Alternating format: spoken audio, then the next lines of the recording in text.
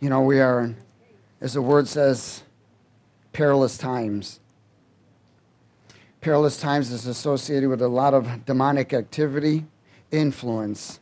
You remember sin is S I N, Satan's influential networking, and S means systems. Hallelujah. Would you turn your swords to 3 John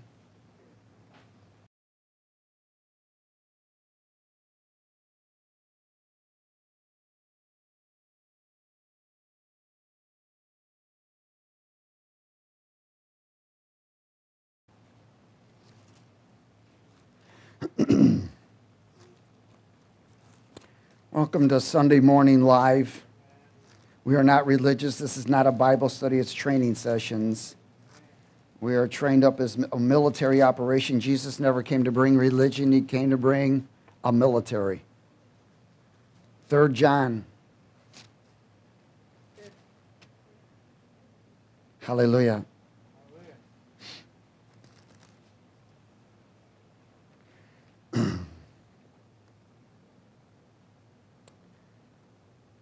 Is everybody there? Let's speak it, because what you speak is what you eat. What you eat is what you become. Speak light, eat light. The more light you eat, the more demons removed from you. Verse 2 Beloved, I pray that you may what? Prosper. Prosper. That means advance, multiply, grow. That you may prosper in all things and be in what? Health. Hello. He's given us the key, man. He's saying, Look, it, I pray that you'll prosper in all things, that you'll grow, that you'll mature, that you'll become physically healed, prosperous financially, that you'll multiply, become fruitful in everything that you do. But he says there's something very important. Just as your what? Soul prospers. So if the soul don't prosper, can you? No. No. If the soul doesn't prosper, either do you. Does everybody get it? That why, that's why there's a conversion of the soul. Now, the soul is your mind, your will, your emotions, your imaginations. Amen? So, your mind is associated with your thoughts, your emotions are associated with your feelings, Your choices, yeah, that's the will. And your imagination is your perception, how you perceive things. See, if, if the soul isn't completely converted, now there's a conversion process that we go through all the way till we go home.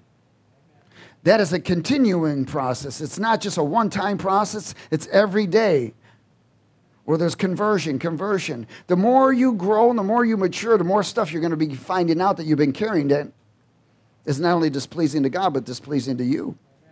Amen? So he says, look it. The way you're going to prosper and grow and mature and become healthy and overcome is so that your soul is completely converted. In verse 3, he says, For I rejoiced greatly when brethren came and testified of the truth that is in you in every part of your thoughts,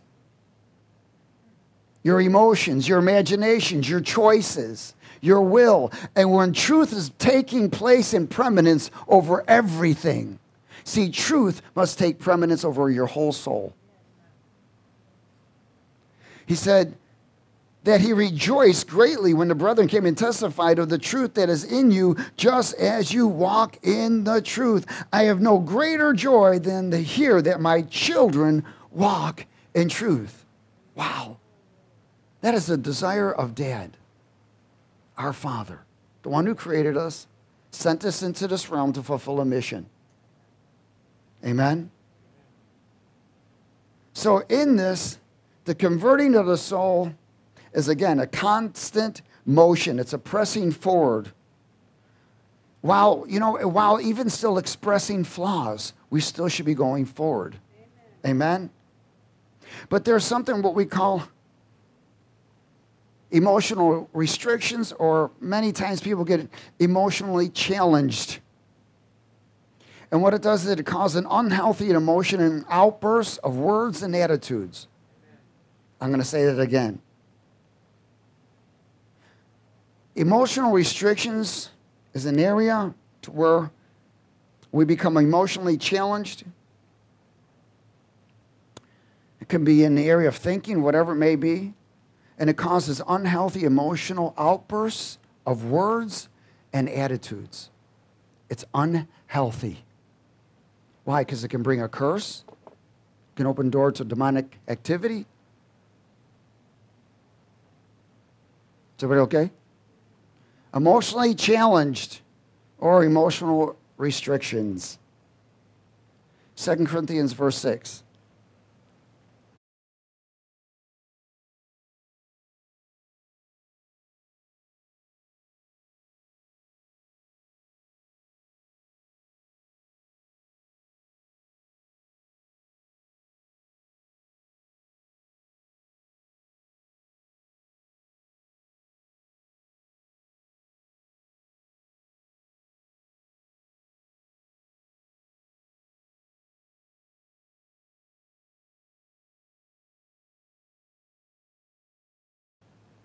You know, the Word of God is multidimensional. It speaks of past, present, and future. And it also has multiple levels of interpretation. It can be applied to any part of life at any time, no matter what. It's utilized to not only as a weapon, but it's also utilized to guide us to God's presence and to confirm the things that the Spirit says. In verse 11, 2 Corinthians chapter 6 and verse 11, O Corinthians, we have spoken openly to you. Our heart is wide open. You are not what? Restricted by us, but what are you restricted by? You are restricted by your what? Own affections your own emotions, your own feelings. Does everybody see this? He said that they were restricted by them because they're individuals that make decisions and live out of their emotions instead of out of truth. They live out of their heads and out of, instead of out of the spirit. And verse 13. Now, in return for the same, I speak to you as what? Children. Why? Because he said these restrictions are keeping you in an immature state of being. You are not able to mature. You are not able to grow. You will not be able to prosper. I speak to you as children, you also be open. He tells us these things. He says, Don't be unevenly yoked together with what? Unbelievers. Why? Because it's going to be influence, isn't it? Don't do the things that the unbelievers do. For what fellowship has righteousness with lawlessness? And what communion has light with what? Darkness. And what accord is Christ with Belial? And what part has a believer with an unbeliever? And what agreement has a temple of God with idols? For you are the temple of the living God, as God has said, I will dwell in them, I will walk among them, I'll be their God, and they shall be my people if you do something. That's what therefore means. Come out from among them and be separate, says the Lord. In other words, be separated from what how the world perceives things and how they set their feelings and emotions and thoughts. Come out from among them. Don't be like the world. Call yourself a Christian, you're still living like the world. And don't touch what is unclean. Don't agree with it. He says, Then I will receive you. Some people are wondering why they're still going through all kinds of hell on earth because they're still agreeing with hell. He said, I'll be a father to you, and you'll be my sons and daughters, says the Lord Almighty. Again, emotional uh, restrictions that keep individuals in a state of immature state of being, causing a process of conversion to be delayed or even stretched out in a longer period of time and sometimes completely stopped. And I always look at it like a rubber band. Every emotion is a rubber band. And it stretches with you. It stretches with you until you finally snip it. And when it snips, it has a little sting to it. ah, yes. But you know it's gone. It doesn't sting again. You know, Jesus was the prime example of a person that did not live by how he felt. Everything that he said, he said, I've come to do the will of the Father. That was it. He was on a mission that wasn't uh, that was unstoppable to him. And you and I got to come to an arena and understanding that we are on a mission. This is not some soulish arena thing. This is not some religious state or act. Jesus is not religious. He's the chief and commander of the military. And we are to be his soldiers. And the word says that a soldier should not entangle himself in the affairs of this world. That meant the emotional restrictions of this world. Everybody okay? Each emotional restriction is, again, like a rubber band. it's evil influence. They challenge us all the time. You will constantly be challenged by how you feel. But again, a person that lives in that state of being is immature. Listen, you can get revelation, illumination, and even a visitation. But your soul must be converted still, no matter what. You can get baptized in the Holy Spirit, speaking in tongues and everything, but your soul still must be converted. Why? So that your emotions are no longer telling you or dictating you what to do. 2 Timothy 1.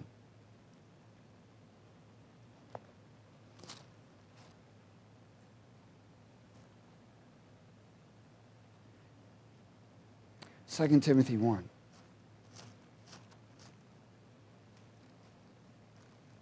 What's Satan's greatest weapon?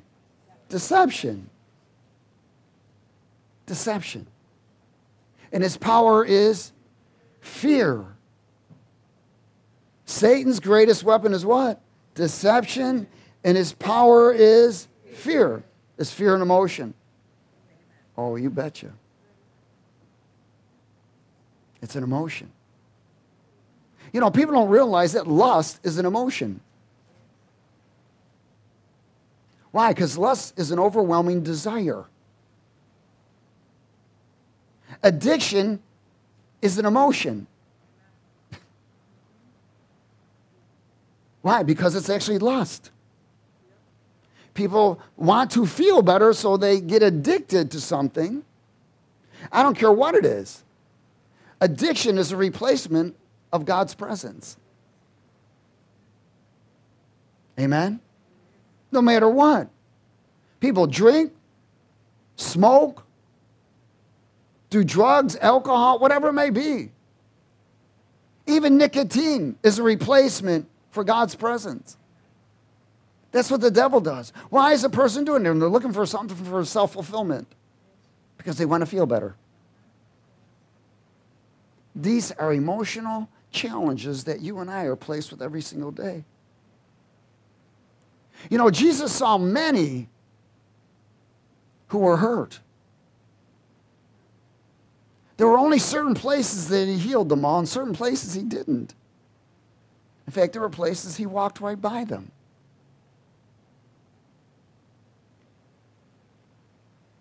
Because, see, there's an area of faith that connects us to the presence of God. Faith connects us to the presence of God. That's why the Father searches those who will worship Him in truth and spirit. You get connected to the presence of God by worship. You get connected to the presence of God by what comes out of your mouth. You're either getting connected to the presence of God or to the presence of evil. Because there's life and death in the power of our tongue. In 2 Timothy chapter 1 and verse 6.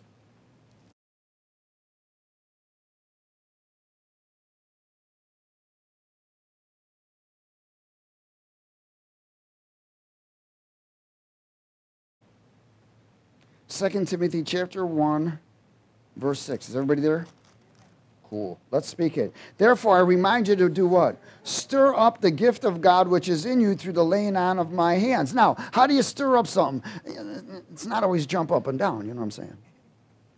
You stir up something by praise and worship. You stir up something by decreeing Christ, the word.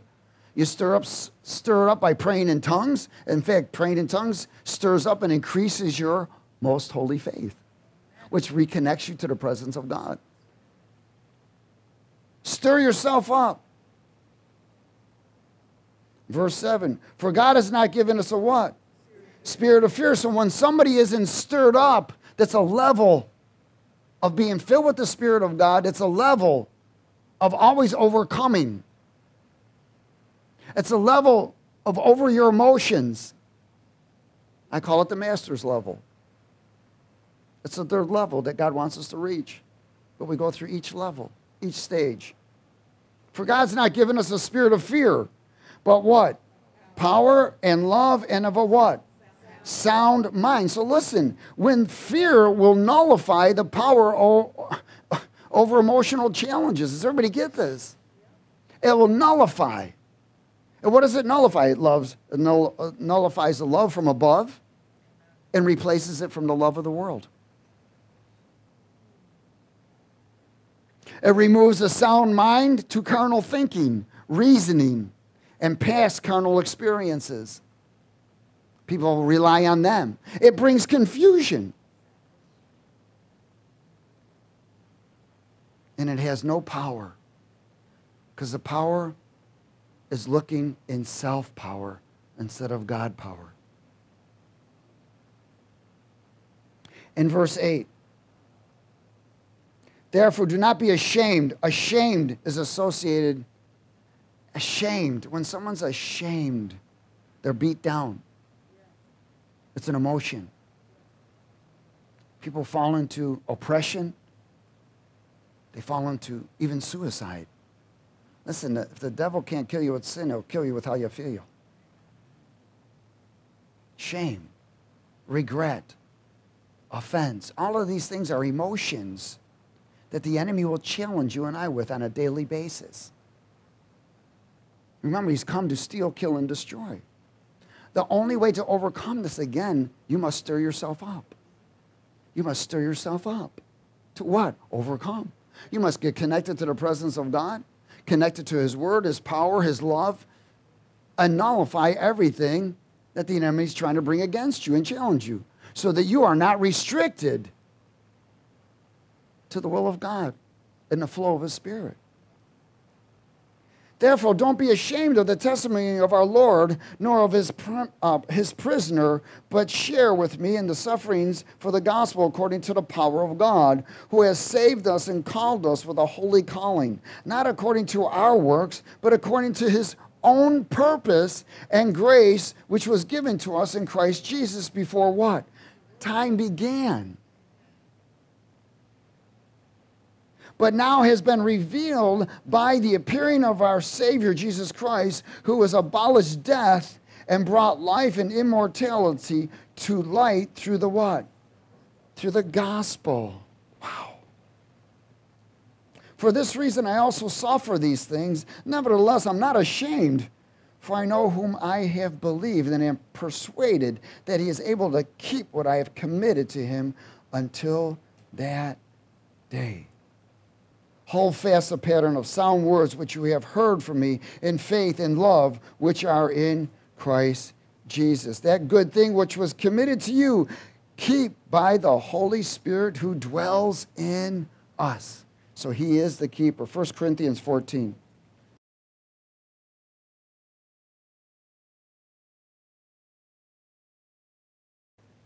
You know, there's so many things involved in this that pe- pe- many people don't realize. Did you ever hear the area somebody say, Man, I wish, I wish? Actually, what they're saying is, I desire.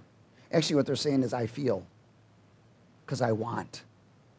All of that is associated, just different levels of words, but it's all connected to the same thing. There's something that I want to make me feel better.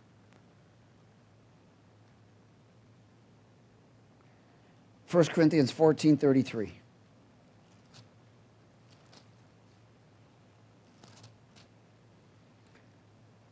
Now, some of them are pretty good. Like you might think, well, man, I wish that person would just shut up, you know? that might help.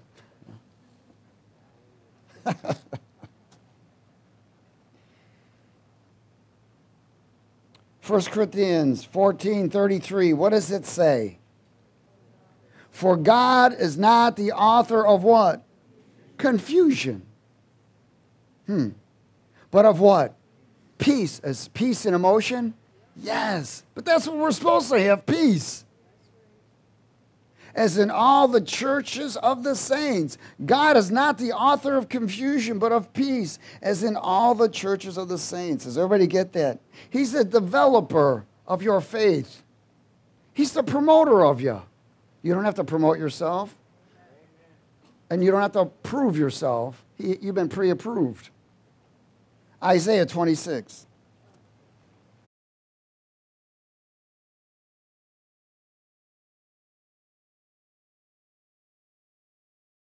Emotional restrictions.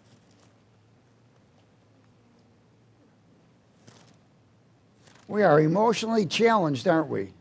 We will be challenged every day in every move.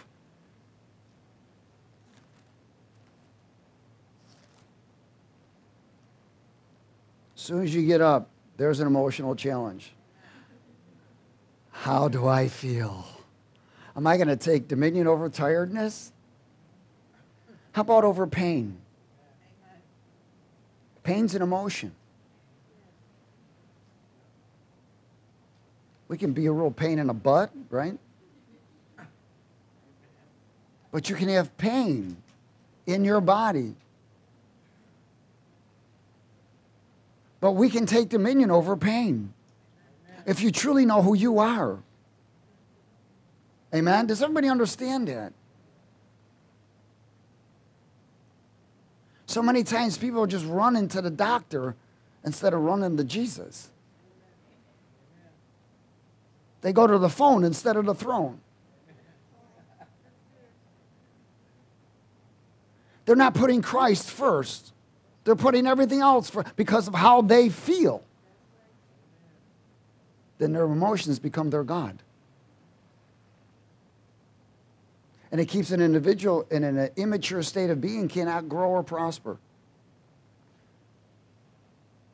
Eventually, confusion, oppression, and heaviness comes. Isaiah 26 and verse 3.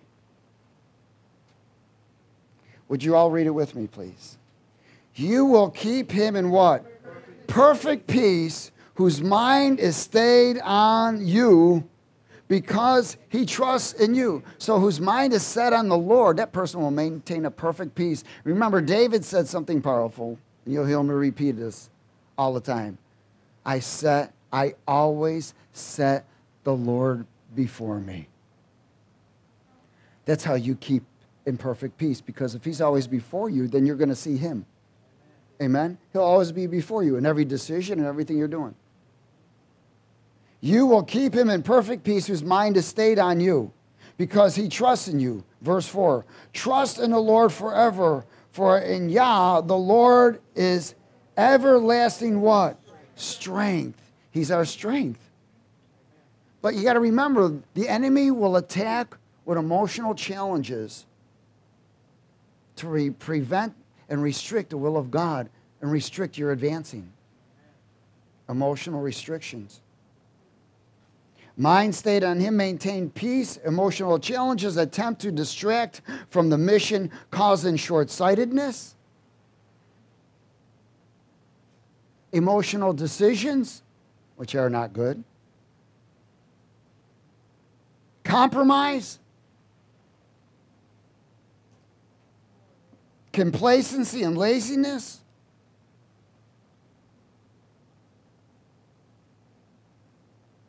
confusion, rebellion, and pride.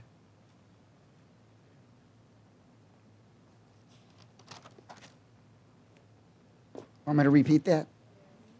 Okay. Emotional challenges. These will restrict us from causing and fulfilling the mission. Because it what does it cause? Short sightedness, emotional decisions, compromise, complacency, and laziness confusion, rebellion, and pride. You know, pride is an emotion. It's an emotion.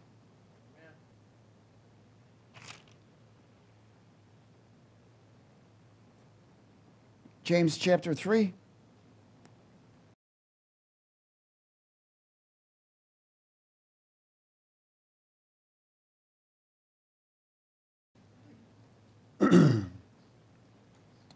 there is such an emotional battle right now in the atmosphere in this world. It's phenomenal. It's raising more and more and more. You've got hatred, you got jealousies, you've got all kinds of things.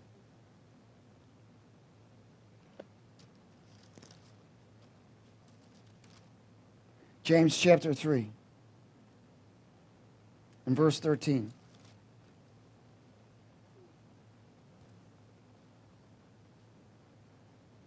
Emotional restrictions. Let's speak it. Who is wise and understanding among you? Let him show by what? Good conduct that his works are done in the meekness of what? Wisdom. But if you have what? Bitter, is bitter an emotion? Envy and self seeking in your hearts. Do not boast and lie against the truth. Let me tell you, the battle between these emotions is phenomenal. The powers of darkness use our emotions to nullify truth. It says here, powerful, verse 15. This wisdom does not descend from above, but is earthly, sensual, and what? Demonic. Because an individual, when they are emotionally challenged, if they're not able to overcome that emotion, it becomes influence because the enemy, the demonic forces, influence us. They know. That's how they tried to play Jesus. That's how he played Eve. And she gave in. And she played her husband, and he gave in.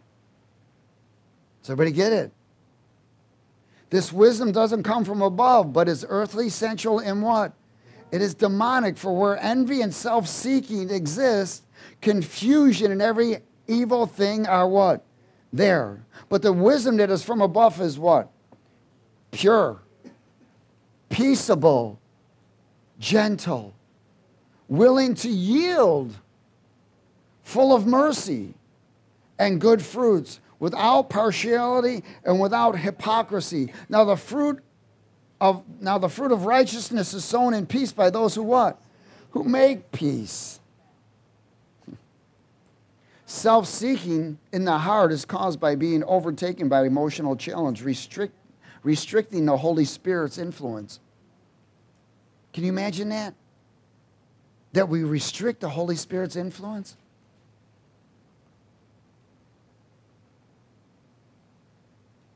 And uh, what happens then, it's and, and resulting in haughtiness and self promotion, offense, false perceptions, and worldly wisdom. We open ourselves to the carnal, carnality realm. One of the things that's resulting is, is in division, bitterness, envy, opening the door to more evil influence where a person is always learning and learning and learning, but never able to come to the knowledge of the truth, because truth can never have its opportunity to truly penetrate. Because if that emotion is still there, it overtakes that individual. In Matthew chapter 9. Again, that's why people turn to drugs, alcohol, and all kinds of pornography and everything else that's self fulfilling. They're looking for fulfillment. And then when they get that fulfillment, they grumble and complain, anyways.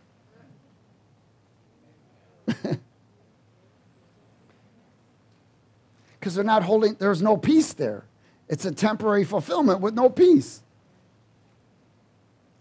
Matthew 9, verse 18, please.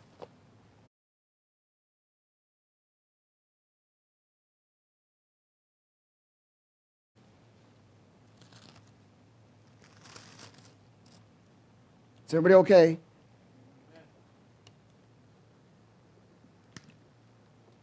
Again, the presence of God.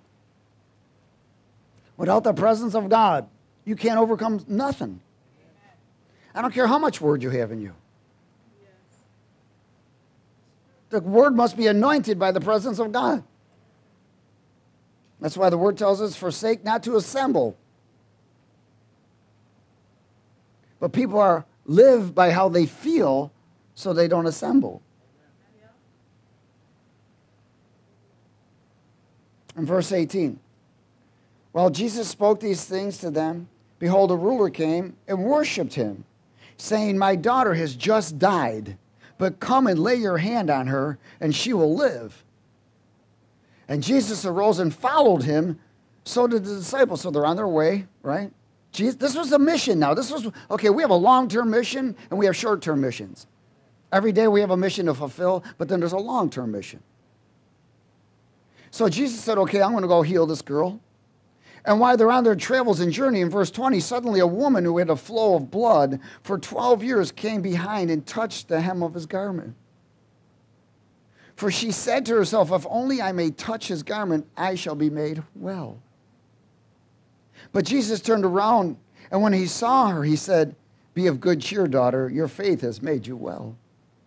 And the woman was made well from that hour. Did that stop Jesus from continuing to go? No. He continued to go to his mission. And when Jesus came into the ruler's house and saw the flute players, and all the noisy crowd wailing. These flute because it was a it was the wailing organization, the mourning organization. They were paid mourners. He said to them, "Make room, for the girl is not dead but sleeping," and he ridiculed them. But when the crowd was put outside, in other words, he said, "Everybody out, all the emotionals." See, they were emotionally challenging Jesus by being in there. He said, Everyone out. Does everybody get this? This is reality. You know why? You and I got to say, Everyone out.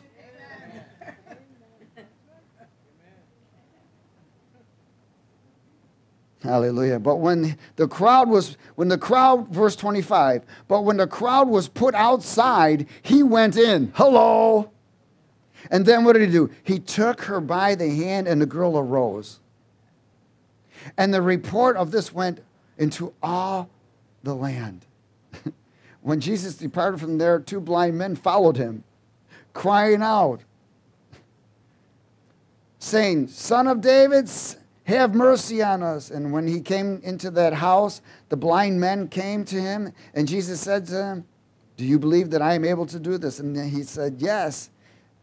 And, and, and, they said, Yes, Lord. And when he touched their eyes, saying, According to your faith, let it be to you according to your faith. Let me share something with you. It's according to your connection to God's presence, because that's what faith is. Your faith is according to God's connection of his presence. How much of the presence of God is on you is how much faith you have. It says faith comes by hearing and the hearing the what? Word of God. But also says faith comes by praying in tongues. Now, what's the Word of God going to do?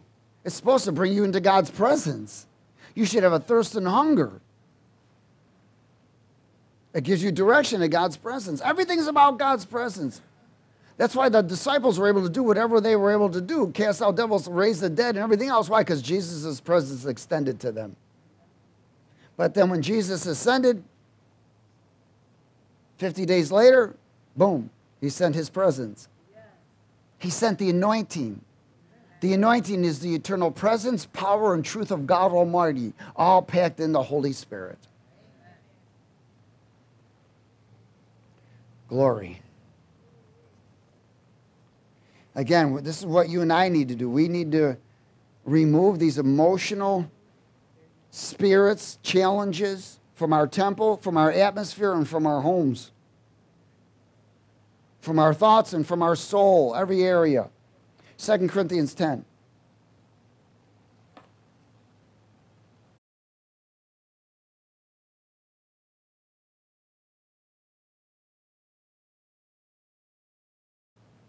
Second Corinthians chapter 10.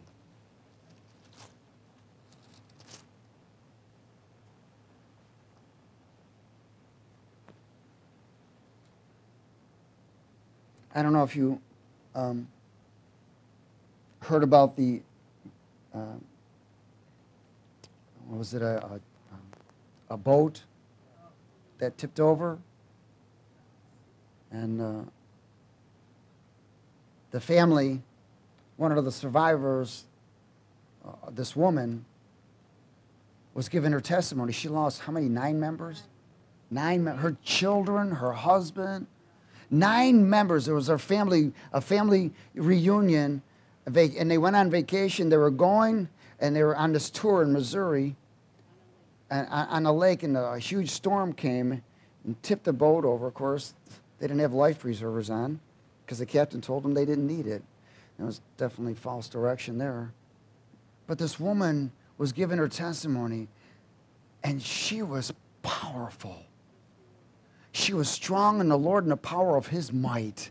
She kept decreeing and declaring how Jesus rescued her. The boat went so deep, the water was very warm, but the boat went so deep that the water was cold. She was still stuck in it, and she could feel the water cold all around her, and she just kept praying and praying and asking God. And then she finally, she was fighting and fighting and fighting, and finally she just gave up and said, Lord, if you want me to die, take me home. Other than that, rescue me and my children she got rescued. When she surrendered, she floated to the top. But her children didn't make it. Husband didn't make it. I think maybe one other relative did. I don't remember at all, but but she gave her testimony. She had tears in her eyes, but she was strong. She didn't allow emotion to overtake her at all. Powerful, strong in the Lord woman, just strong. I was just so blessed. I mean, my heart sunk for her. But she was so strong, and she just kept saying, Pray for all the other victims and all those who've lost loved ones, because I know that they are going through what I'm going through. You know, somebody loses someone, they're going through an emotional challenge. Amen? But praise God, she was strong in the Lord to overcome it. She wasn't going to let her stay there. There's a time of mourning, but then there's a time of rejoicing. 2 Corinthians 10, verse 4. Let's speak it. For the weapons of our warfare, how many of y'all were, we're in a warfare? It's an emotional warfare. Our weapons of our warfare are not physical or carnal, but are they mighty in God and pulling down stronghold. What's a stronghold? It's a memory lie. Listen, a stronghold is a memory lie. And how is it burned into your memory? Emotion. Every memory is burnt in by emotion. Does everybody get it? That's how it's burned into your memory. Then, so if you got a memory that's burn, burned in by an emotion and it's a stronghold, that means it's keeping you from growing. It's keeping you in an immature state of being. It says that we're to be casting down arguments and every high thing that exalts itself against the knowledge of God, bringing every one of these thoughts into captivity to the obedience of Christ and being ready to punish all of them that are disobedience when your obedience is fulfilled. In other words, again, a stronghold is a memory lie, it's burned in by an emotional impact, becoming a constant challenge. It becomes a what? A constant challenge. Restricting the flow and influence of the Holy Spirit. Its result is in bondage and oppression. It can cause unbelief and weariness. It can cause loneliness, heaviness. That's why we're to expose these things and remove them and replace them with the promises of God peace, joy, and righteousness in the Holy Spirit. But listen, you won't have the strength to do it if you're not connected to God's presence. It's just impossible. And you're not going to have be connected to God's presence until you finally get over your emotions and decide to worship God with all of your heart. And decide to show up to corporate praise. Oh, you'll stay in that condition and you'll blame everybody else, the doctors and every all the, the stuff that happens to you in your past and everything else, you'll blame it because you that's one of the things it does is put you in a blame mode. You'll be miserable disconnected from the presence of God. And the enemy is about to wipe you out. He's come to steal, kill, and what? Destroy. So then what happens? An individual runs to the world for fulfillment. They begin to run according to their past experiences. You cannot defeat the devil living in your past. You won't.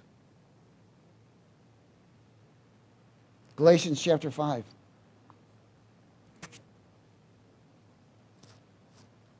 You can't defeat the devil in your own thoughts. He'll outwit you if you try to defeat him in your thoughts. You will not outthink him. You defeat him with the sword of the Spirit called the Word of God in your mouth. But it must be backed by the anointing, so you must be anointed by God's presence. Galatians 5, in verse 16, please.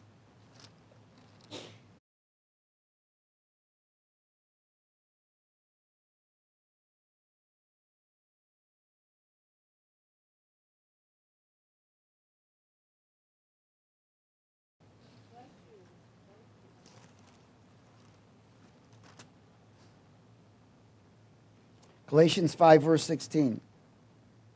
I say then what? Walk in the Spirit, and you will not fulfill the lust. What's is lust the desire? Yes. It's an, is lust an emotion? Yes. So look at this is the fight between emotion.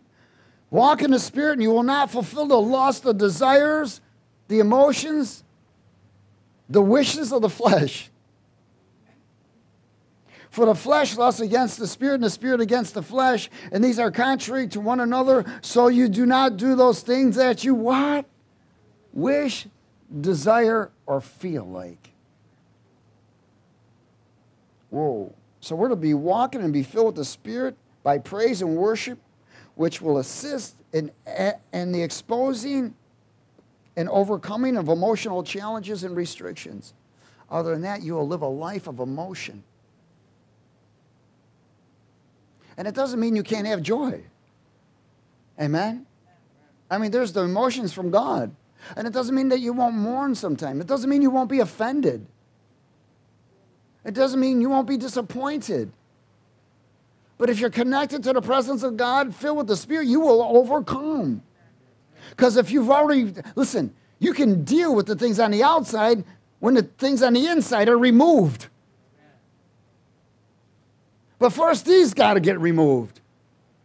There's got to be a deliverance process. There's got to be a conversion process. But so many people, even after they go through deliverance, reconnect themselves to the same things.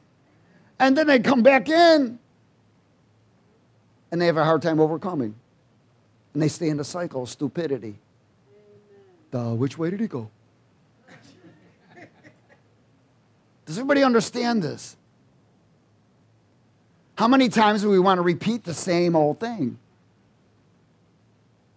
It won't stop until those things are gone.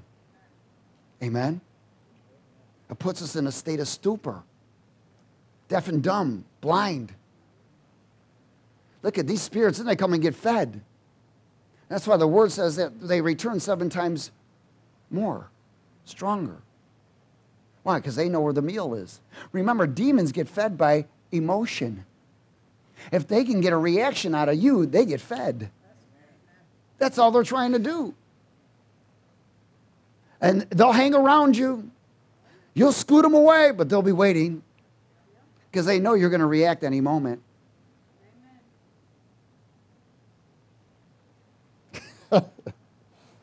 Isaiah 61.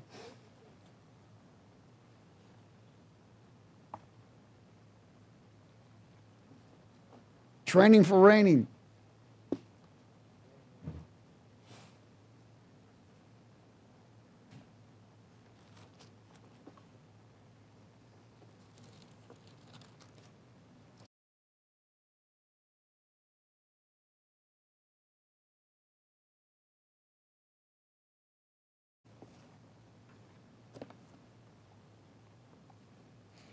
Oh, hallelujah.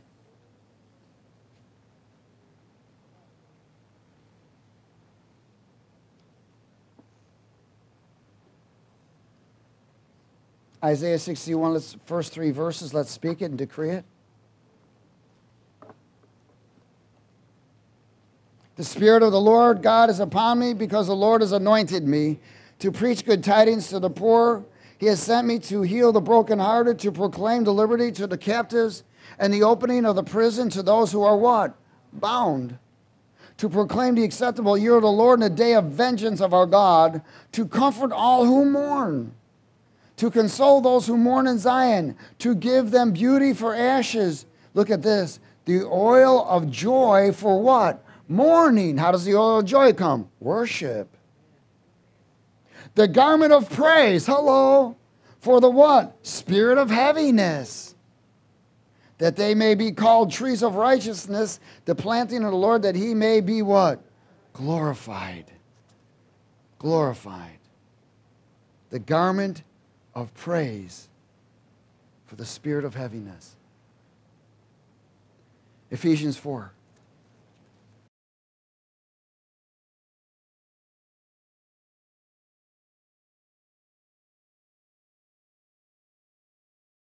And I, I, remember one time I was watching the news, and uh, they were uh, there was an, uh, a break-in in this woman's home. They come to vandalize and everything. And I, I, don't remember the whole outcome of it, but I know when they, the news people came to now come to interview her, they wanted to know what was going on. She's going, "Thank you, Jesus." she just kept praising the Lord because she just went through a heavy-duty trauma. She was held up with guns and so forth. And they ransacked her home and took all kinds of stuff and whatever. And she just kept praising the Lord. Why? Because she could have just gone, woe is me. She could have opened up and looked for all the liquor in the house. She could have called the dope man down the street. She could have done all kinds of things, but she chose to praise the Lord, to remove the spirit of heaviness. Everybody get it? So she didn't fall into it because she used what she learned. She began to praise the Lord immediately. So when that came on her, she just, hallelujah, praise the Lord. I do that in stores. I don't care. Man, you go in these places, you hear the music in, the, in those, you know, you're trying to shop and get something good to healthy to eat, and you got stuff, you're bam, you're hearing this music, just emotional challenges. It's like, the next thing you know, your foot's going, I need to wait a minute. And you start, you got to start doing hallelujah, praise the Lord. Thank you, Jesus. I usually do a hallelujah real quick. Hallelujah.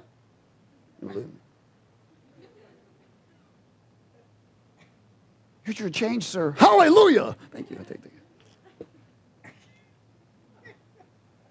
Ephesians 4 17.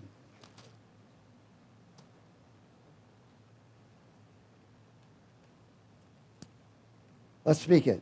This I say, therefore, and testify in the Lord that you should no longer walk as the rest of the Gentiles walk in the fertility of their mind. Why are they walking in the fertility of their mind? Because they're emotionally challenged and now restricted. Having their understanding darkened. Hello. Being alienated from the life of God because of the ignorance that is in them, because of the blindness of their heart, who being past what? Being past what? Being past what? Feeling emotionally distracted emotionally restricted, emotionally challenged by their past, have given themselves over to what? Lewdness, to work all uncleanness with what?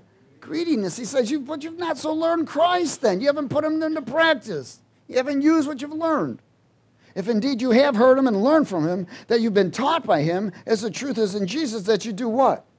Put off. Everyone say, put off concerning your former conduct, the old man which grows corrupt, according to the what? Deceitful emotions. Amen? Deceitful emotions. And be renewed in the spirit of your mind and your soul, that you put on the new man which was created according to God in true righteousness and holiness. Therefore, putting away lying let each of you speak truth with his neighbor, for we are members of one another. Be what? Angry. Be angry, but don't what? Sin. Sin. That's called righteous anger. But there's a, a limitation to that. Amen? You're to hate sin. We love people, but we hate sin. Be angry and don't sin, and don't let the sun go down on your wrath, nor give place to the devil. Let him who stole steal no longer, but rather let him labor, working with his hands what is good, that he may have something to give him who has need. Let no what?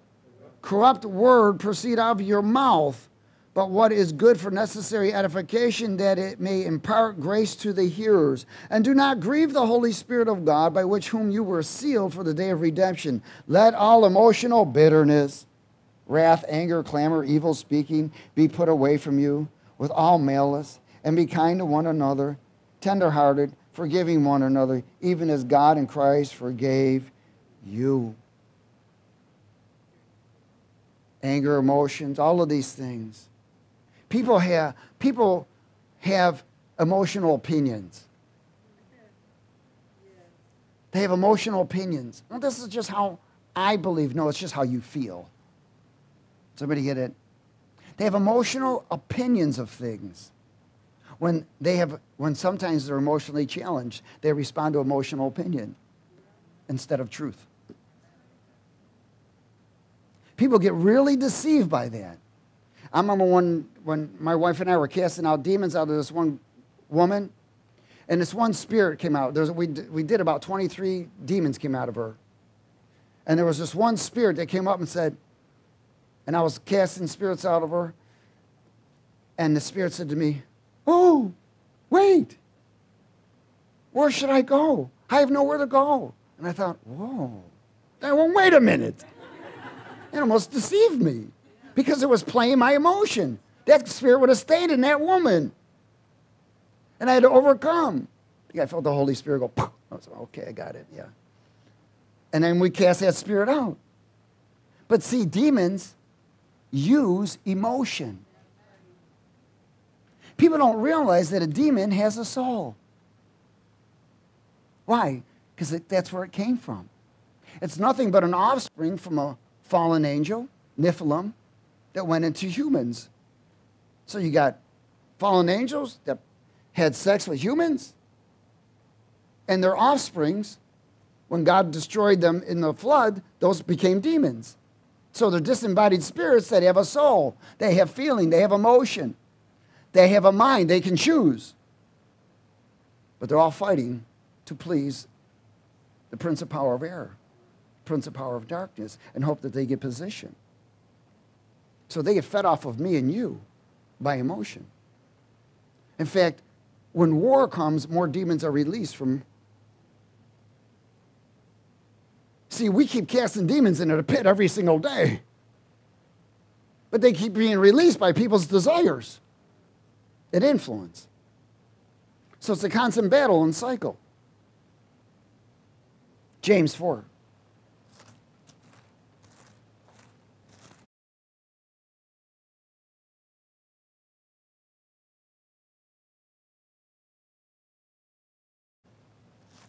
Oh, happy day.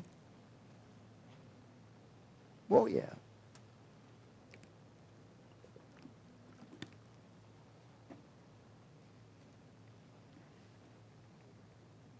Oh, glory. James 4, verse 1 Where do wars and fights come from among you? Do they not come from your emotions? For pleasure that war in your members. You lust. Does everybody see how this is so attached to emotion? Your feelings. You lust and don't have. You murder and covet and cannot obtain. You fight and war, yet you do not have because you don't ask. And when you do ask, you, you miss it because you want to spend it on your emotions. Adulterers and adulteresses do you not know that friendship with the world is enmity with God? Whoever therefore wants to be a friend of the world makes himself an enemy of God. Why? Because the world lives on emotion. Everything they do is associated with how they feel. In fact, Satan's doctrine is do what you feel like. Or do you think that the scripture says in vain, the spirit who dwells in us yearns jealously? Is jealousy an emotion? Yeah. but he gives more grace, and therefore he says, God resists the proud and gives grace to the humble. Therefore, submit to God, resist the devil, and he'll flee from you. Draw near to God, and he'll draw near to you. Cleanse your hearts, you sinners, and purify your hearts, you double mindedness. Lament and mourn and weep. Let your laughter be turned to mourning and your joy to gloom. Humble yourselves in the sight of the Lord, and he will lift you up. How many of y'all know that worship and praise is an act of humbleness? When people do not worship and praise and lift their hands of surrender, they are arrogant and prideful. And God will resist them until they come to a place where they're willing to become humble. Oh, glory. Emotional pleasures of sin that restrict the will of God and challenge wrong and cause wrong choices. In Psalm 119,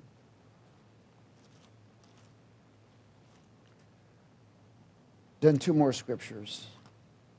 I think we needed to get this teaching in.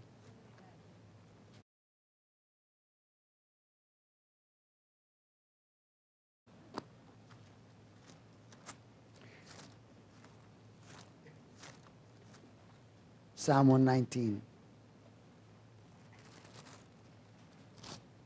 Glory. In, in verse uh, 161.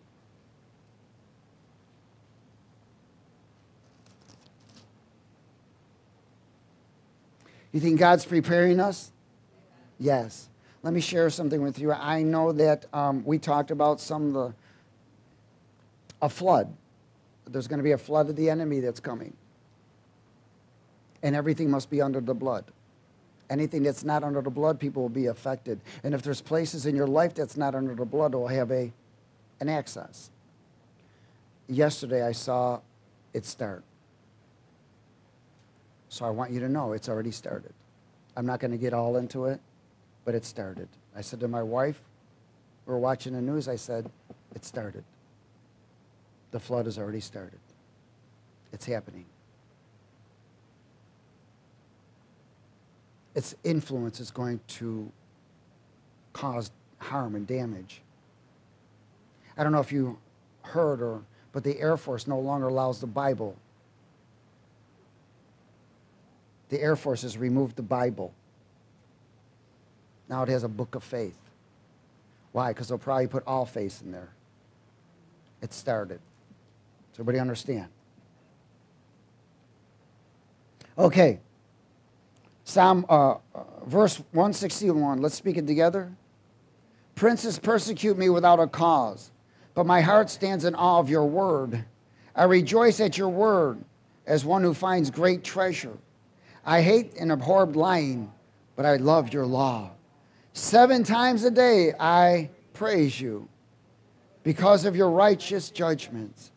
Great peace have those who love your law or your word, and nothing causes them to stumble. Lord, I hope for your salvation and do your commandments.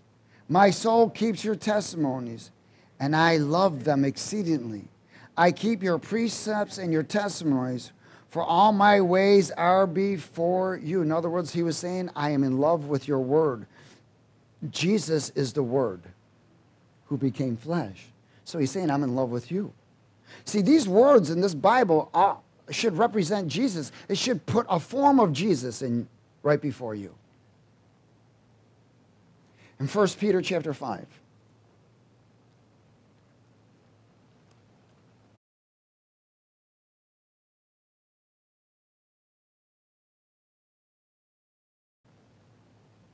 1 Peter chapter 5 and verse 5. Hallelujah. 1 Pete chapter 5.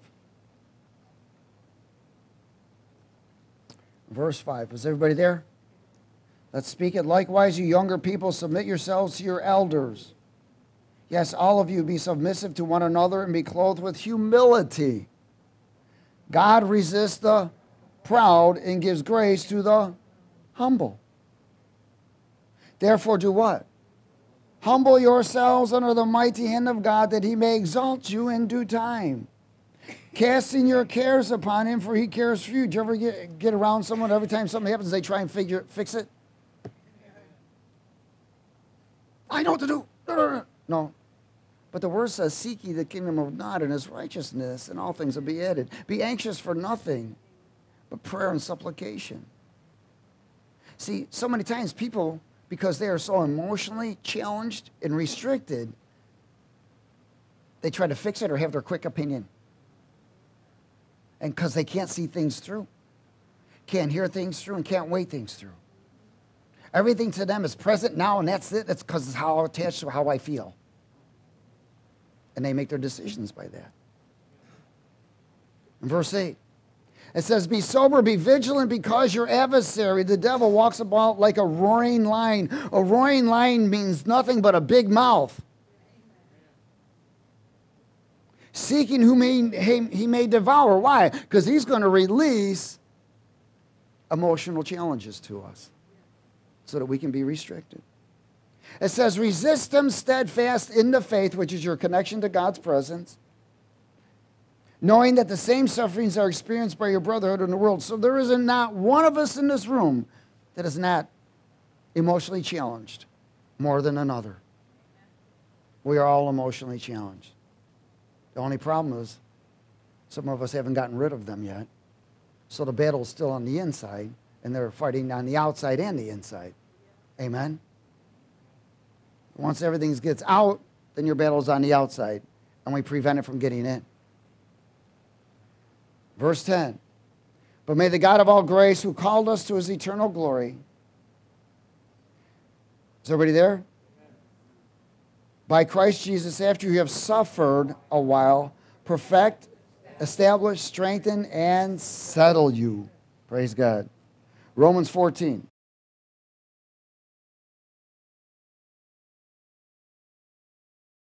Whatever it takes to be free from self, from the world, from sin, from hell. How about bondage, emotional challenges, and restrictions so we can make right decisions? Romans 14.